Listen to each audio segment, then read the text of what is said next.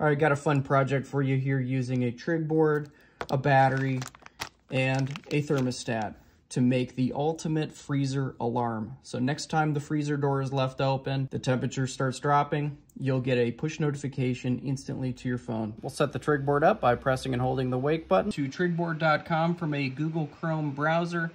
Go down to configurator, launch the configurator, and then we will connect to that trigBoard and then from here we put in our Wi-Fi details and then what we want to do with that contact. So door left open, door has closed, and then also once every two hours we can check to see if the contact is still open and then we know the door is still open. And then to send the push notification we'll use pushover so we'll enable that, put in the user and API token keys and then we're all good to go. Let's disconnect and test this thing out.